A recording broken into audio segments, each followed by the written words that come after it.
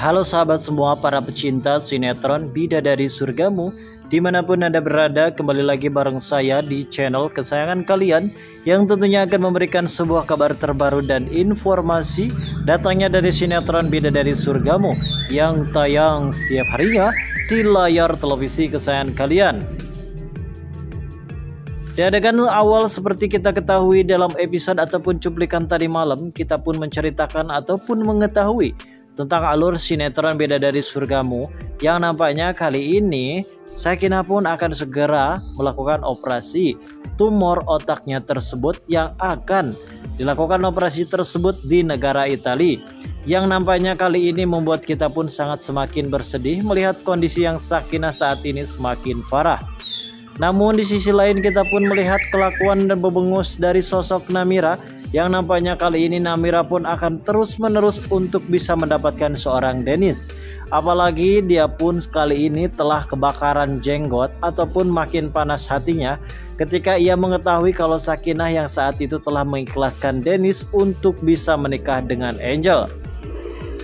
Dan seperti kita ketahui dalam cuplikan trailer hari ini, di mana di sini Namira bersama Angel pun mengendari sebuah mobil sedan milik si Andre. Pada saat itu mereka pun berdua memang Namira pun berpura-pura untuk belanja ke sebuah pasar.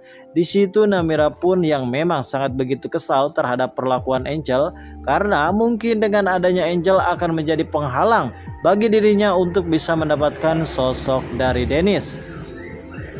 Dan di sini juga kita pun dalam cuplikan trailer hari ini di mana Namira dan Angel di situ mengalami kecelakaan yang sangat begitu naas sekali sehingga nyawa mereka berdua tidak tertolong lagi yang pada akhirnya mereka berdua meninggal dunia karena mobil yang dikendarai mereka pun telah memasuki jurang setinggi 700 meter yang pada akhirnya tim evakuasi ataupun Basarnasen sempat mengangkat mobil yang saat itu ditumpangi oleh Namira dan Angel.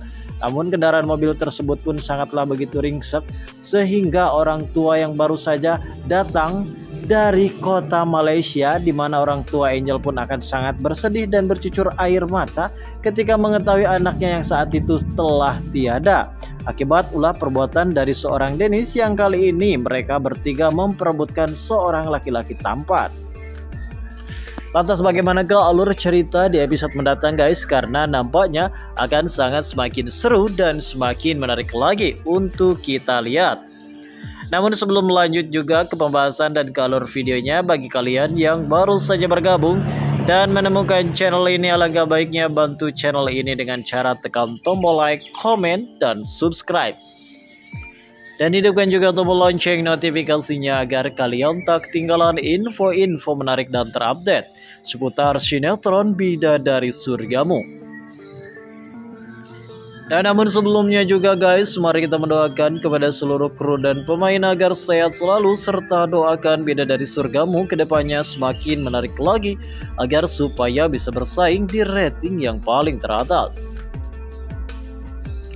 Nah guys, di adegan sebelumnya Sakinah mengabarkan keluarganya bahwa sebentar lagi ia akan menjalani sebuah operasi oleh Dr. Leo. Semuanya mendoakan Sakinah agar operasinya dapat berjalan dengan lancar. Andrew datang dan menanyakan apakah Dennis jadi pergi ke Italia ataukah tidak. Dr. Leo datang secara khusus ke Jakarta hanya untuk mengoperasi Sakinah. Di sisi lain, Namira sedang menghubungi seorang temannya yang telah bersekongkol dengan dirinya untuk menjebak Andrew. Bahkan Namira telah memberikan sebuah uang yang sangat begitu cukup besar seharga 30 juta untuk temannya tersebut. Sementara itu, di tempat lain Salim murka kepada Fadil karena curiga dengan sikap Fadil yang telah mencuri sehelai rambut milik ayah Haidar. Terlihat juga Angel diam-diam masuk ke kamar Andrew dan menaruh sobekan paspor milik Dennis yang telah terbakar. Sakinah, Angel, dan Dennis mencari cara agar Namira tidak betah di rumah sampai wanita itu takut sendiri karena selama ini telah berpura-pura lupa ingatan. Di episode sebelumnya juga kita mencari tahu tentang Dennis curiga ada yang membakar paspor di tempat pembuangan sampah.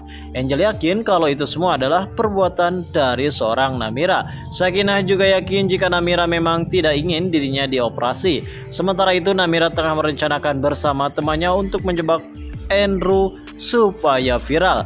Nah guys, pada cuplikan trailer hari ini kita pun sangat dibikin tegang karena nampaknya di sini Ibu Lauja yang sempat menggambar si Bebengus Namira pada episode tengah malam tadi di mana Ibu Lauja pun di sini dituduh bahwasanya sobekan kertas ataupun paspor tersebut adalah kelakuan dari seorang Ibu Lauja yang nampaknya kali ini Namira pun tidak mencurigai Angel pelakunya. Karena di sini juga Ibu Lauja yang sangat begitu sayang terhadap Sakinah, di mana Ibu Lauja pun masih belum bisa mengatakan kalau dirinya ibu kandung Sakinah. Di sini Sakinah pun berharap apabila hasil tes DNA tersebut mengatakan kalau Ibu Linda adalah ibu kandung dari seorang Sakinah.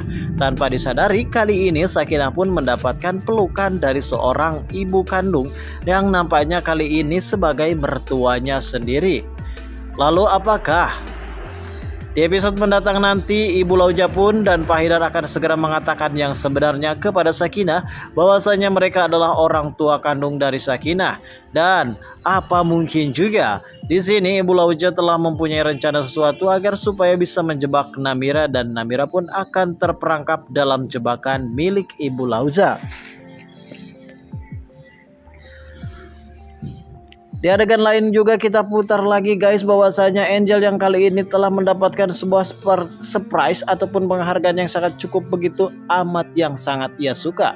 Di mana Sakinah pun telah mengikhlaskan ataupun telah mengekspor si Dennis ini untuk si Angel. Namun kejadian ini membuat si bebengus Namira yang sangat begitu kurang nerima di mana ia pun cemburu buta padahal selama ini ada seorang suami yang sangat begitu mencintai tulus mencintai dia dan bahkan si Andrew juga sempat membelian membelikan sebuah berlian yang sangat begitu cukup mahal. Bagi Andrew sendiri itulah sangat murah terutama bagi kita. Kita pun tidak akan pernah mampu untuk membeli berlian tersebut karena mungkin berlian tersebut pun bisa membeli rumah tujuh dan di sinilah di mana si Bebengus Namira yang sangat begitu dendam dan benci sekali terhadap Angel. Suatu ketika di mana Angel saat itu mengendari sebuah mobil milik Andrew karena saat itu si Angel pun akan datang ke rumah saya untuk menengok saya karena saya saat ini sedang tidak enak badan. Di situlah di mana Angel sempat berduaan bersama si Bebengus Namira. Rencana itu pun telah gagal karena saat ini Angel mengalami kecelakaan bersama si Bebengus Namira karena terjadilah pertengkaran di dalam sebuah mobil di antara Namira dan juga Angel. Lalu apakah yang akan terjadi di episode mendatang guys? Karena nampaknya akan sangat semakin seru dan semakin menegangkan untuk kita lihat. Apalagi melihat kondisi si Babengus Namira akan rusak parah wajahnya dan dia pun tidak akan pernah tertolong lagi sampai ia pun meninggal dunia. Dan inilah mungkin suatu ajab yang akan didatangkan oleh Allah Subhanahu wa taala kepada si Babengus Namira yang telah jahat terhadap Sakinah. Dan kita tunggu saja guys kelanjutan ceritanya nanti malam. Terima kasih bagi kalian yang sudah menonton video ini dan bagi kalian yang baru saja bergabung dan menemukan channel ini silahkan subscribe karena subscribe itu gratis.